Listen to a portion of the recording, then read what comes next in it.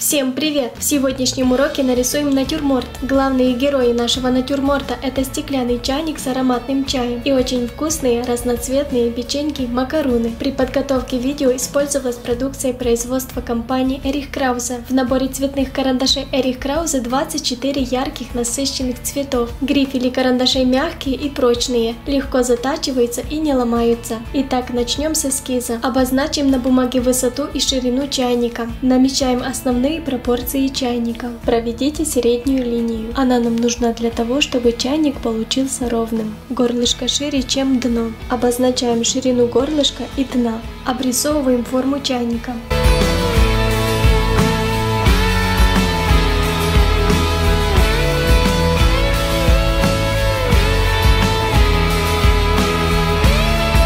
Рисуем крышку, она по ширине меньше горлышка и дорисовываем колпачок.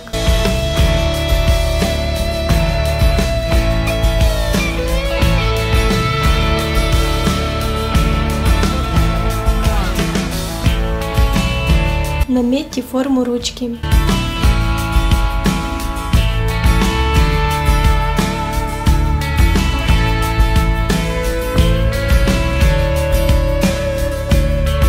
Намечаем форму носика.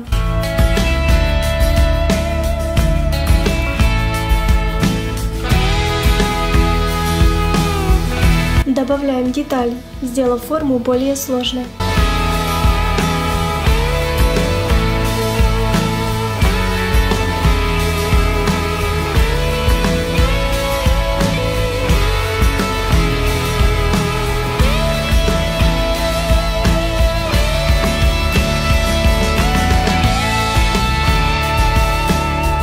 Овалами показываем верхнюю часть чайника. Уточните форму крышки и нижнюю часть чайника.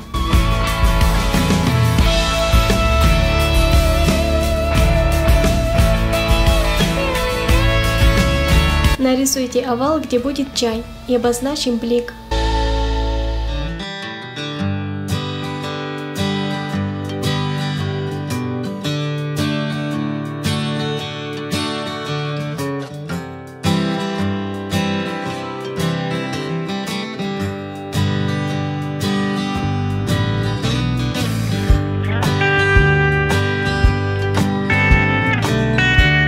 Убираем вспомогательные линии. Следующий этап нашей работы. Рисуем расположение макарун. Изобразим основу печенья – овал. Прорисовываем детально овалы, которые находятся сверху и снизу. В центре оставьте немного места, чтобы уместить слой крема.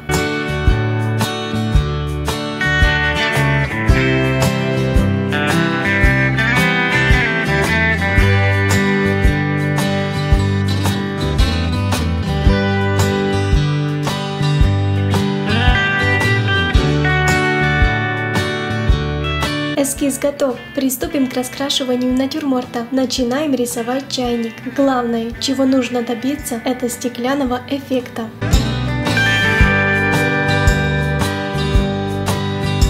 Чайник нужно равномерно разукрасить синим цветом, оставив края на крышке нетронутыми, белыми.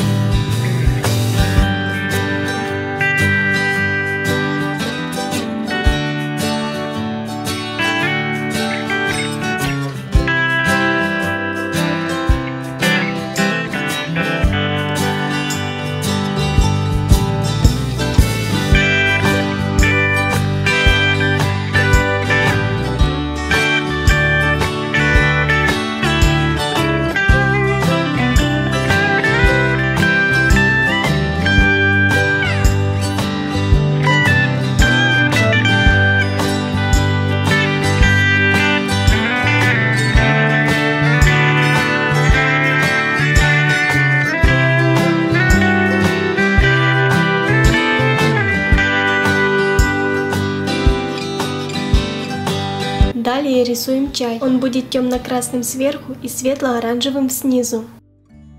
Накладываем на чайник красные, желтые и коричневые оттенки. Вам нужно постараться сделать плавный переход.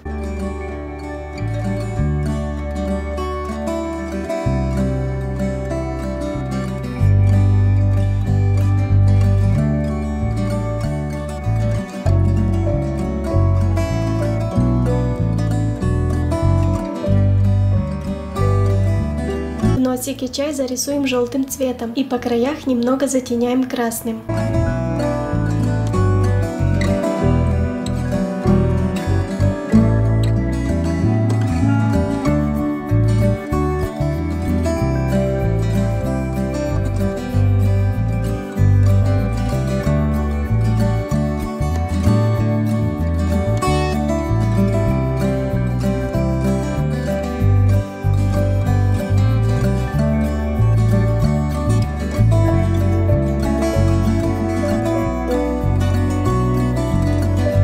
Добавим контрастности.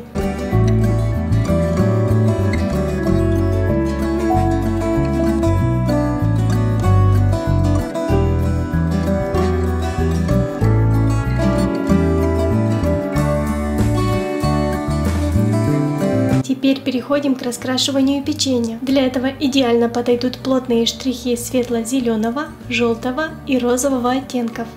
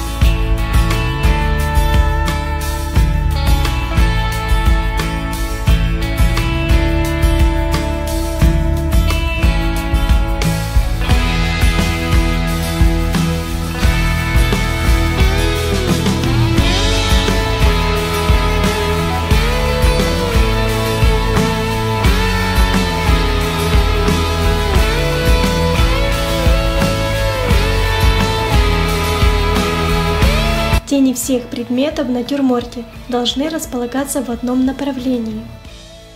Темно-синим рисуем тень, тем же карандашом намечаем стол.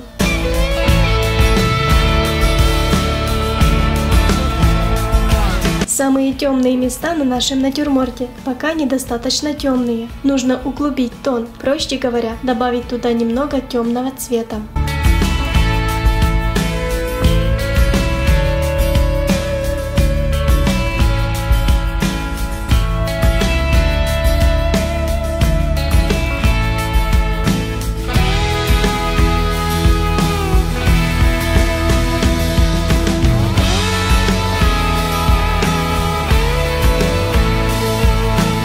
Затеняем фон на заднем плане. Рисуем фон легкой штриховкой. Когда штрихуете, не давите на карандаш. Цвет карандаша фона фиолетовый.